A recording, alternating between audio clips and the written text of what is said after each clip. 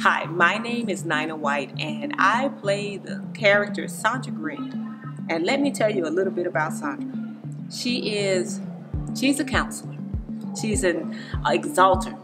She does and supports all women and she builds them up. She's strong, she's prayerful, she's faithful, and she's got a lot going on for and a lot going for herself. So sounds like a lot of women that we know, right? Maybe even sounds like me, sounded like me. but let me tell you, one thing about Sandra that we absolutely had in common was the fact that Sandra was so strong that she tried to handle everything. And so I did the same thing. I tried to handle everything. And so through this play, Sandra finds out, as I found out, that no matter how strong you are, you're still not strong enough.